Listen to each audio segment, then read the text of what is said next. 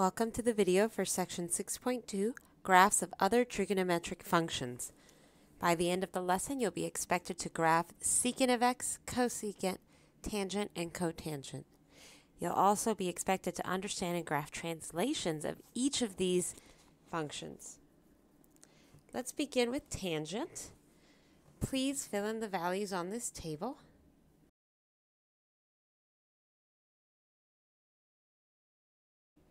Let's look at the graph of tangent x now.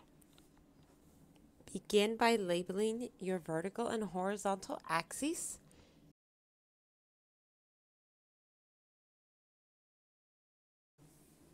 All right, now that our axis is completely labeled, let's go ahead and plot a few things. Notice that when x equals pi over 2 and negative pi over 2, we have an undefined value. Why is that?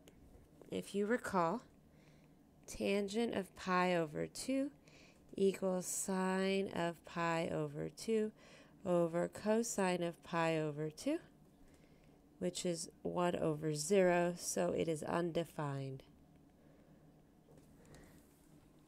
You cannot divide by 0. This tells me that there are vertical asymptotes at every pi over 2 value. So this is x equals negative pi over 2.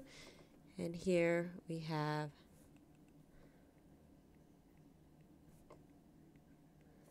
x equals pi over 2.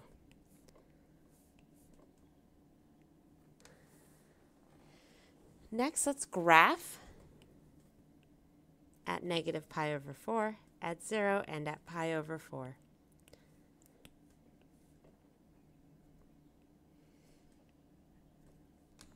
Now, while it's really tempting to just connect these with a straight line, that would be wrong. This is what the graph of tangent looks like. Our graph will get infinitely close to these asymptotes without ever touching them.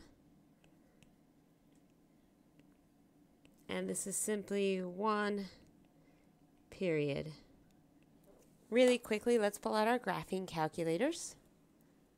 Here is my graphing calculator. I'm going to go here to y equals and type in tangent x and then close that parentheses. Next, I'll go here to window. And let's have our window go from negative 2 pi, oops, and that would be the negative horizontal axis, the negative x-axis, that's our minimum, and have our max go all the way to 2 pi. Let's scale this by pi over 4 and now our Ymin, I'm going to go from negative 3 to positive 3. Quickly double check my mode. I'm in radian mode. And then graph.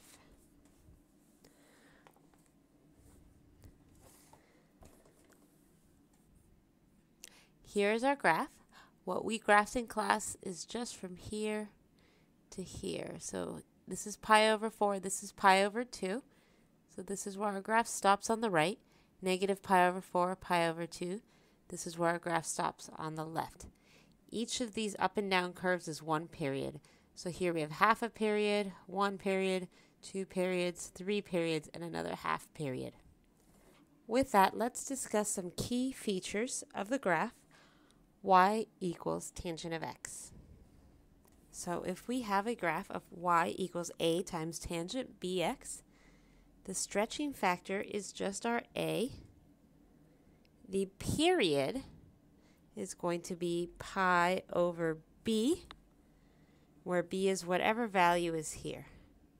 If you notice on our graph, our period is pi, since we start at negative pi over 2 and travel all the way to pi over 2, this distance is pi.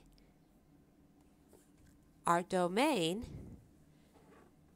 is not quite all real numbers. I'm going to write this in set builder notation. It's a set of x such that x is not equal to 2k plus 1 times pi over 2, where k is an integer. And recall,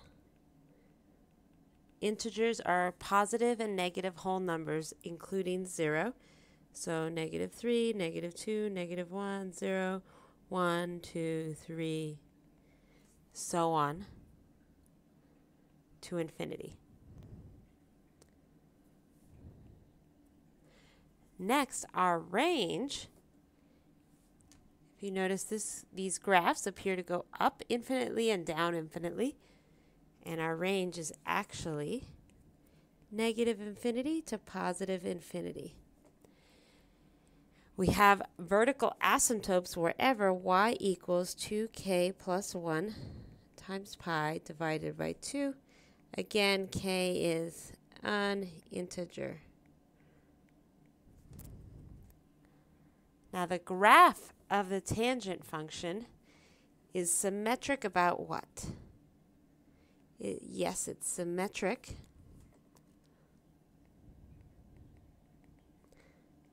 about the origin. So it is odd.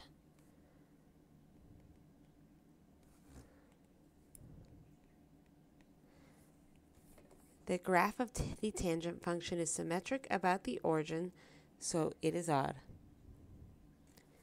We can see this algebraically. If you recall, tangent of negative x equals sine of negative x over cosine of negative x, which is negative sine x over cosine of x, which is just negative tangent of x. Graphs of the cotangent function. Here f of x equals cotangent of x. Please fill in these table values.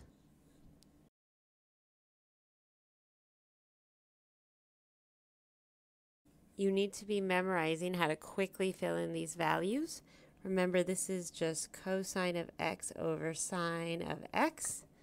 So take whatever your cosine value is at the given angle and divide it by the sine value at the given angle. We have one undefined spot here at 0. And if you notice, cotangent of 0 equals cosine of 0 over sine of 0, which is just 1 over 0 so it's undefined since we cannot divide by 0. Now let's go ahead and label our axes.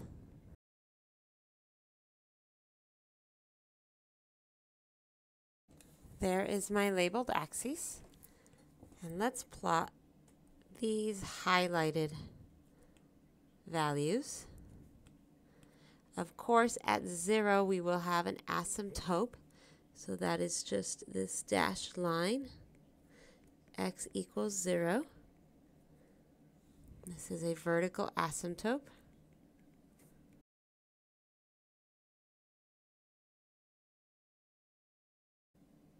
When x is negative pi over 2, we have 0. When x is negative pi over 4, we have negative 1. And of course we have these other values. So if you notice, it looks as if our one period is a bit cut off. If you notice, it looks as if our one period is a bit cut off. So let's go ahead and fill in some additional values for 3 pi over 4 and negative 3 pi over 4 and use the fact that these periods are going to be symmetric. So where is our next asymptote? If you set up pi or negative pi, you're correct. Cotangent of pi equals cosine of pi over sine of pi. This is negative 1 over 0, which is undefined. And you'll find a similar result for negative pi.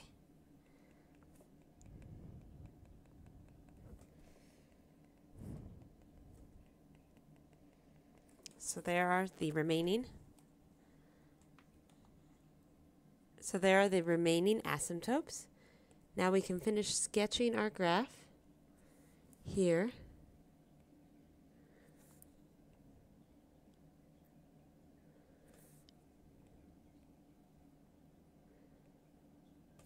And there we are. We have two full periods of the graph of cotangent of x. I'm not going to pull out the graphing calculator this time since this is identical to the process for graphing tangent of x. Let's look at some key features of the graph of cotangent. So given the graph of f of x equals a times cotangent of b times x, our stretching factor again is a, our period is pi over b, our domain, not quite all real numbers again, since if you notice we have all x except any x that's equal to what? Notice this is 0, this is a pi, this is a negative pi. Our next asymptote on this side would be 2 pi, on this side would be negative 2 pi. So we want to exclude whole values of pi. So k pi, where k is an integer.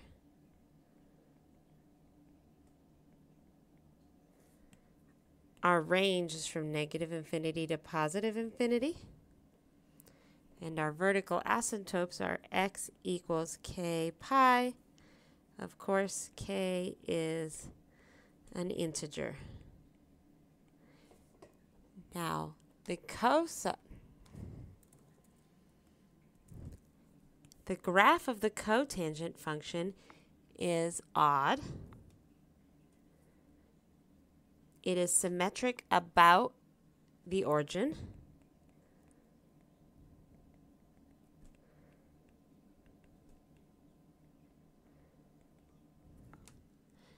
Let's figure this out algebraically. If you recall, cotangent of negative x equals cosine of negative x divided by sine of negative x which is cosine of x divided by negative sine of x, or negative cotangent of x. So we have an odd function. Let's turn to the next page. Graph two periods of f of x equals 3 fourths tangent of 2x. Let's begin by identifying several key factors. First, our stretching factor. That's this value multiplied to the outside of our function. So we have a equals 3 fourths. Since it is less than 1, this will compress our graph. So this is a compression.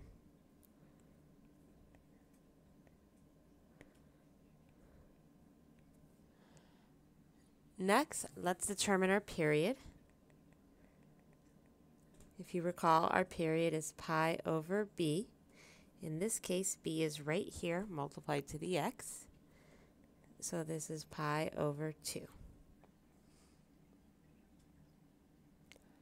Let's sketch a little bit of this out, and that will help us determine the asymptotes.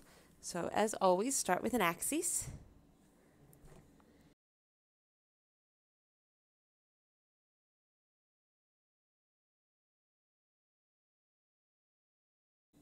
There is my axis. If you recall, begins right at the middle. So here at 0, 0. And then our period is pi. Since our period is pi over 2, half of our period has to lie on this side and half of our period on this side. That tells me that my asymptotes are right here and here. And I know this because this is half my period of pi over 2. And here is the other half of this same period. So my asymptotes are x equals pi over 4, x equals negative pi over 4. Finally, halfway between our asymptote and the zero value, we should have some other key point. So let me label this. This would be pi over 8. And on this side, it's negative pi over 8. Now the graph of tangent, if you recall, if this is my axis, looks like this.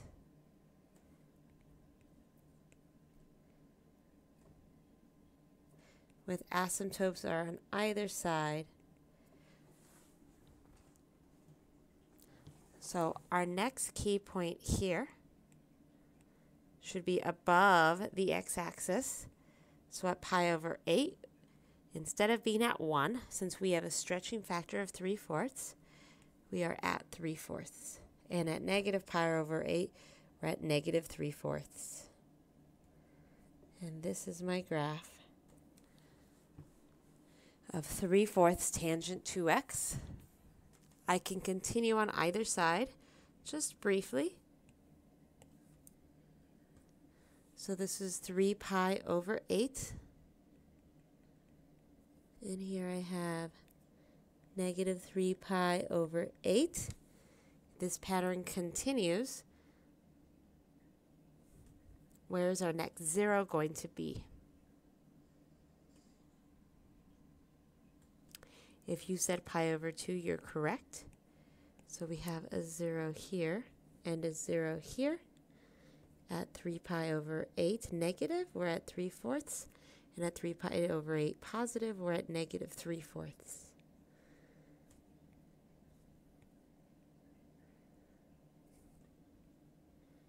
And this gives us and this gives us two full periods of our graph. Let's move on to the next example. Graph two periods of g of x equals 2 times cotangent pi x. Of course, let's begin by identifying some key values. First, our stretching factor.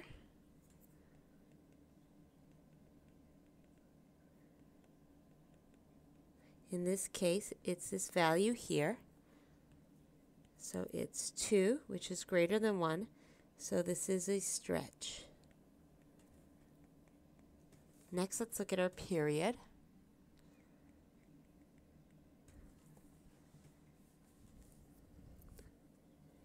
Our period is pi over b.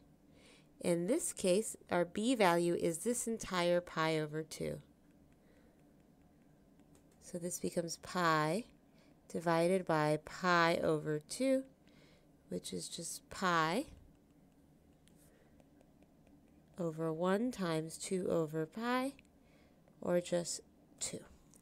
So we have a period of 2. Notice that there are no pi's attached to this value, but we are still in radians. We do not have a degree symbol or anything. So this is still in radians, and our horizontal axis should have no pi's in it. So if you sketch a horizontal axis and you include pi's in it for this period, you will be incorrect. Let's start by sketching our axes now. So this is going to be 2. This is 4. If you notice, I left myself a lot of space in between. So a single period of our graph is 2. We know that at the beginning and the end of our period for cotangent, we have asymptotes. So let's sketch out these asymptotes. Here, one asymptote is located at x equals 2. An additional asymptote is here at x equals 0. Halfway between these asymptotes, we should have a 0 value. And now let's quickly recall the graph of cotangent here towards the bottom. If this is my axis, our graph of cotangent looks something like this.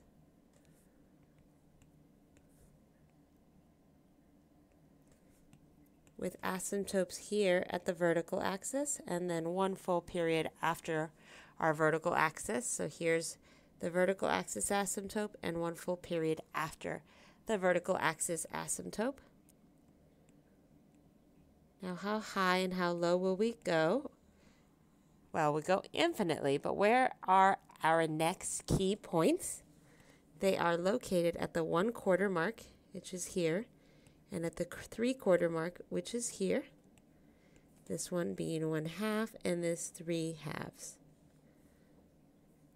Let's label the vertical axes, negative 2 and positive 2. At 1 half, we go all the way up to positive 2. And at 3 halves, we go to negative 2.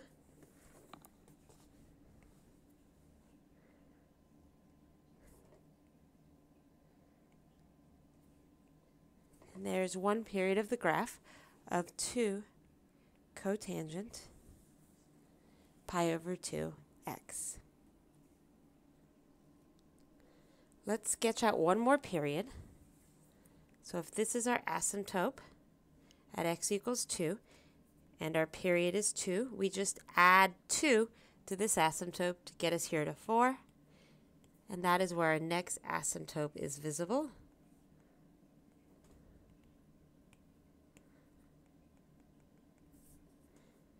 halfway between our two asymptotes, which is at 3, we have a point. Halfway between this left asymptote and this midpoint is another key point.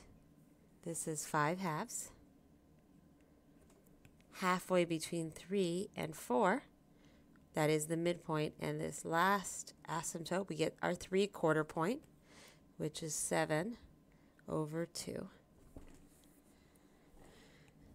Now we can continue graphing by plotting this upper point and this lower point. At the one quarter point, we should be at 2. And at the three quarters point, we should be at negative 2. And I just noticed I marked these both incorrectly. There's negative 2. There we go.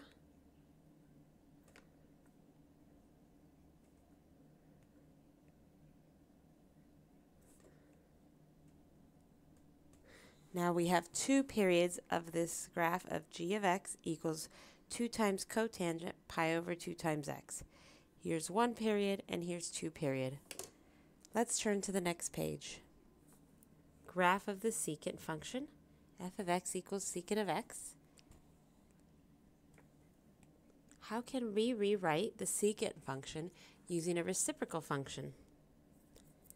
If you said 1 over cosine of x you're correct. So let's see what this looks like. Let's start off here in light gray. I'm going to quickly sketch out a graph of cosine of x. If you recall, it has a period of 2 pi.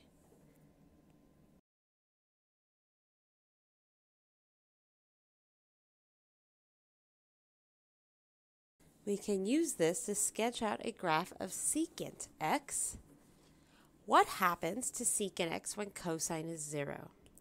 For example, cosine is 0 here at this value. If this is pi, this is x equals pi over 2. So let's see what happens. Secant of pi over 2 equals 1 over cosine of pi over 2.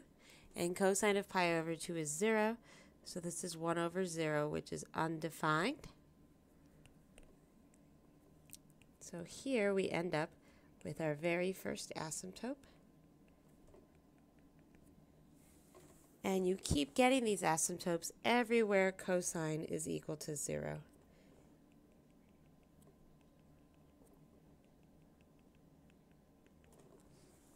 There are all of our asymptotes.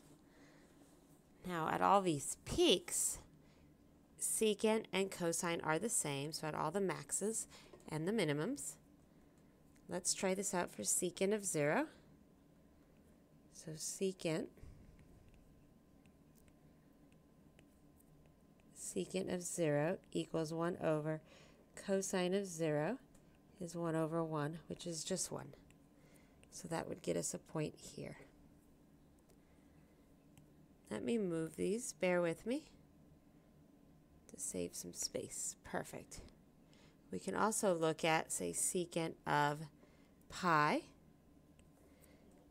Secant of pi equals 1 over cosine of pi is 1 over negative 1, which is just negative 1, and that would be here.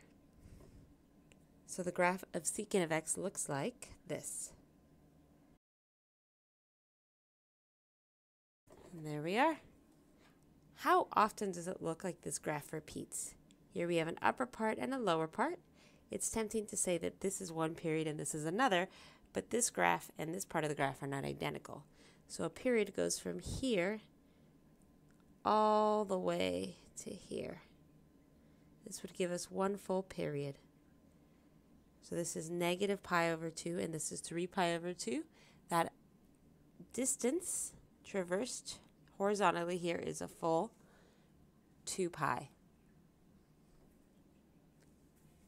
So we have one full period here.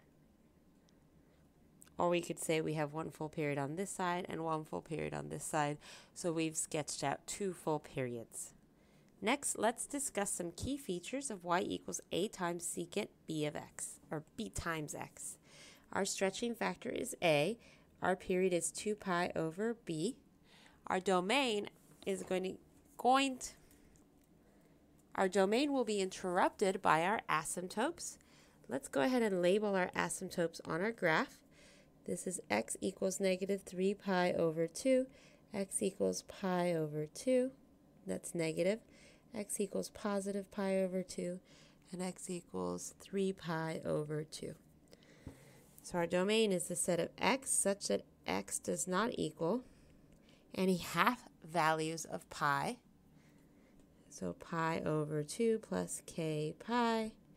k is an integer. Our range is from negative infinity to negative 1, and then 1 to infinity. And this is our vertical movement. Our graph moves vertically to negative 1. Then there's a giant vertical jump before our graph is defined again at positive 1. Our vertical asymptotes are the set of x such that x does not equal to pi over 2 plus k pi, where k is an integer. And the graph of the secant function is symmetric about the y-axis.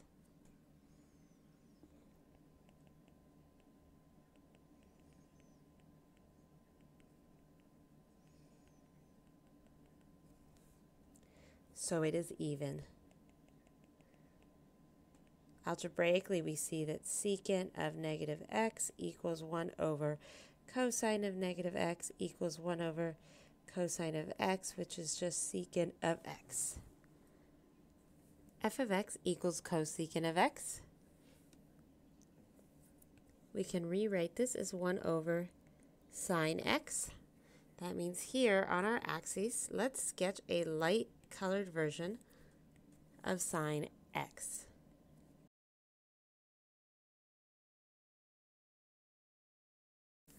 There is a graph of y equals sine of x in gray. Let's use this to sketch cosecant of x. Similarly to secant of x, wherever we end up with sine is 0, so here it's 0 and at whole values of pi, we have an asymptote.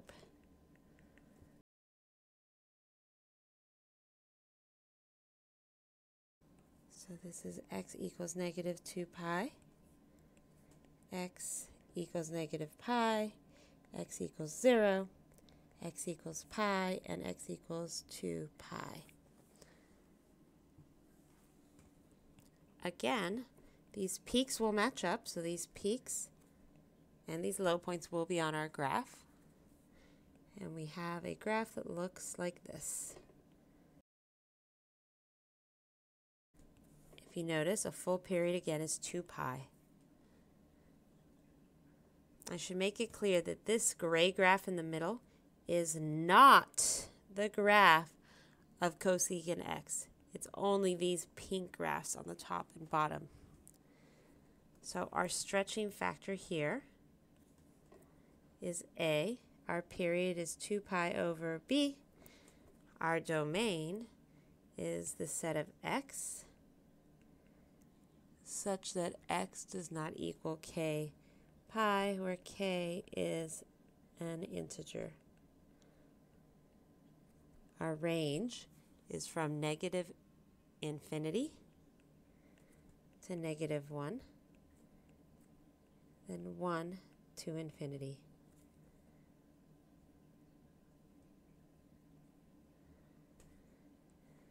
Our vertical asymptotes are located wherever x equals k pi, k an integer, and the graph of the cosecant function is what? Is symmetric about the origin, is symmetric about the origin,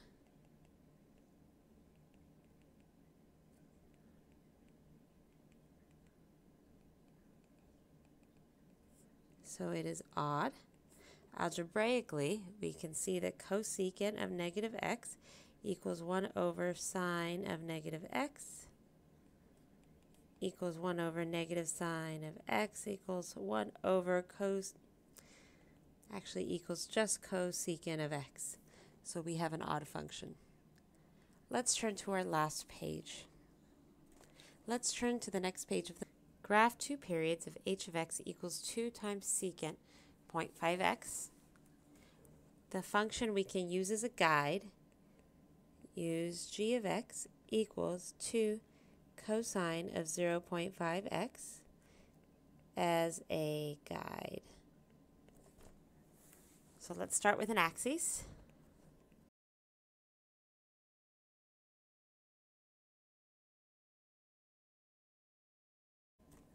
There's my axes.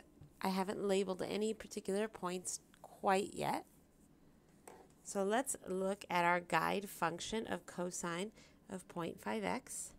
So for our guide function, and again, I'm still using the guide, its amplitude is 2, and period is 2 pi over 0 0.5, which is 2 pi over 1 half, or 4 pi. So let's sketch 2 cosine of 0.5x as a guide.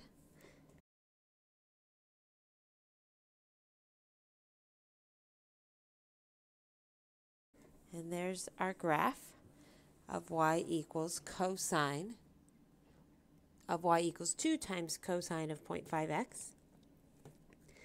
This tells me that my asymptotes will be here at x equals pi and x equals 3 pi. And our graph will look like this.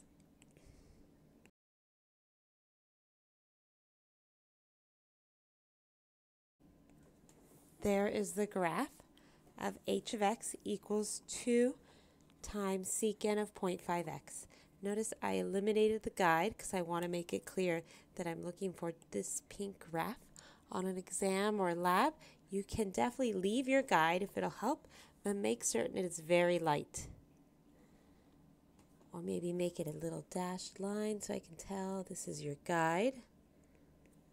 So this would be a, a nice acceptable way of leaving your answer and making it clear that you sketched a guide first. So our period is 4 pi, our stretching factor is 2. Our asymptotes are located at x equals pi and x equals 3 pi. Example 4 graph two periods of k of x equals 3 times cosecant pi times x. Our guiding graph here, our guiding function, is f of x equals 3 sine of pi x. The amplitude here for our guide is 3. Our period is 2 pi over pi, which is just 2. So this is another example where your horizontal axis should not have any pi symbols on it. Inevitably, someone will still sketch a graph with pi symbols on the horizontal axis, but please, please don't. Let's start with our axes and a quick sketch of our guiding function.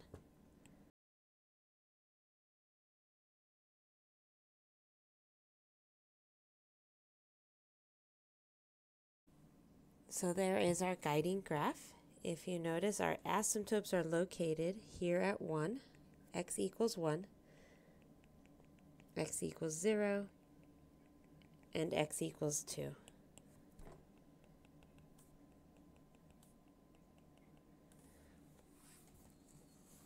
And I'm going to make it much more clear that this is simply just a guiding graph by making it a dotted graph.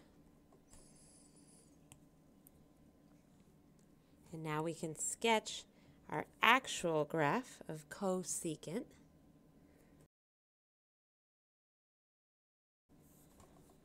So there's our graph of k of x equals 3 times cosecant pi of x.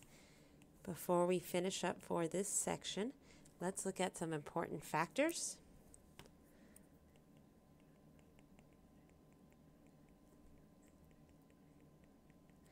its stretching factor is 3. Its period is 2. And the asymptotes are located at x equals 0, x equals 1, and x equals 2. This concludes the lecture for section 6.2.